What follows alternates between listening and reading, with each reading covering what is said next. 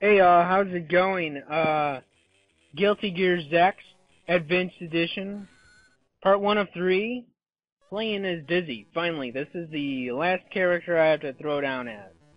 Let's see, I'm gonna go ahead and get started on it.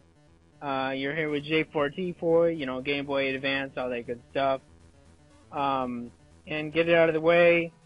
I have fun playing fighting games. Uh, I play them, you know, it's fun. I like having fun. Uh, I suck at them. Uh, I could learn, I could use getting the combos and special moves down pat, otherwise, you know, I do suck at them. So I think that's all out of the way, all that good stuff. So I'm gonna go ahead and get on with my usual and given bios of characters. So here's Dizzy. The details of Dizzy's birth are not known. All that is known for certain is that she was found as an infant roughly three years before the events of Guilty Gear X by an old couple with no children of their own to depend on. The other, other villagers became afraid, however, since Dizzy appeared to, to age from being an infant to apparently being in her late teens in three years. This was compounded when she discovered one day that she had she now had wings and a tail. Dizzy was now identified as a gear, essentially a living weapon of mass destruction, and a hundred and a hundred year war against gears had just ended five years ago. Dizzy's foster parents hid her in a grove in the woods, but she was soon discovered and subjected to abuse at the hands of her captors. She quickly escaped, however, and the government issued a 500,000 world dollar bounty on her for her death. From there, Dizzy came under the protection of Testament, a gear who had served under the command Gear Justice. Testament fought off most of the bounty hunters, and if any managed to overcome him, they were quickly beaten back the, by the immense power of Dizzy herself. Dialogue, I don't like to hurt others. Please, leave from here. Um, she was eventually defeated by the bounty hunter known as Sol Badguy. However, he spared her life and the bounty fell to Jam Kuradoberi, who used it to create her restaurant. Dizzy was then discovered by Johnny and May who rescued her and invited her into their crew.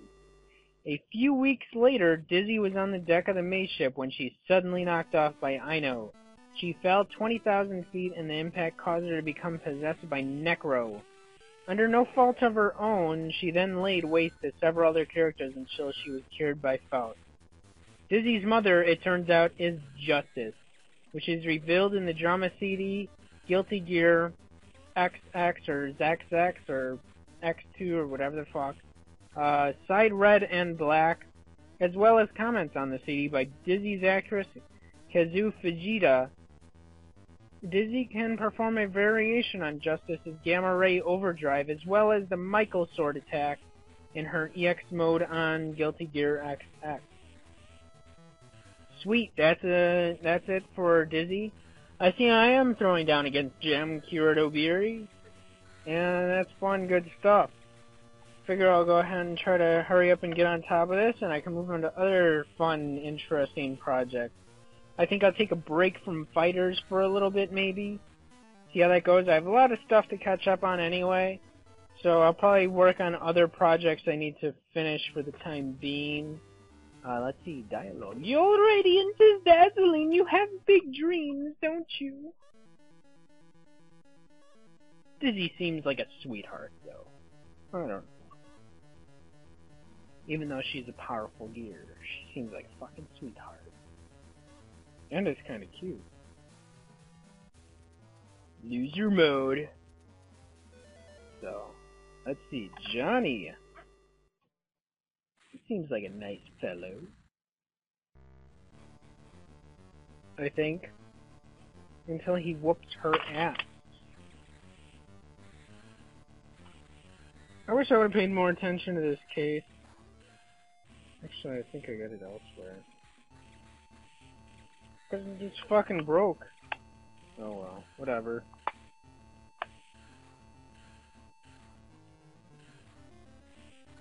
I moved it, and it moved back in place.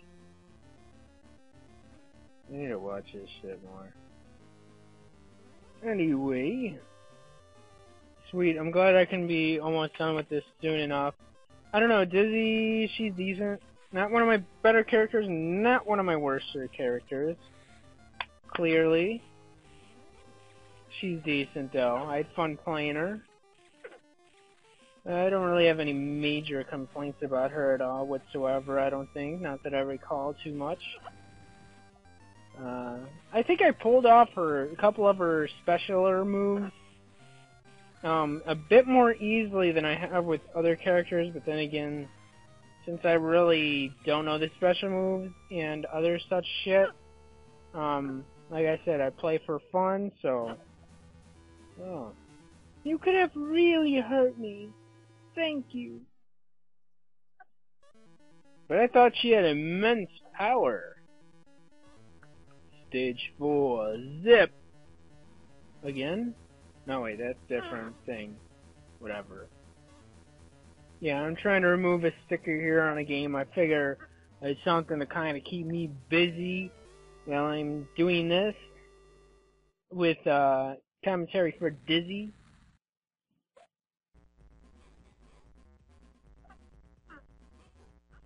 I do find it kind of retarded, the stickers and such they put on games these days. What can I do about it? Not too much, really. Let's see how this goes, though. How about it? Maybe. Maybe. Yeah, I still gotta use stuff, because this, the stickers they like to use on these fucking game cases. Like to leave residue and kinds of retarded shit like that. And it takes a long time for fucking, um, um, hard copy games prices to go down. Like it takes two or three years for a moderately decent game to come with under ten bucks. But I mean that's not too bad, seeing as um actually a lot of these games are older than fucking just a couple two years.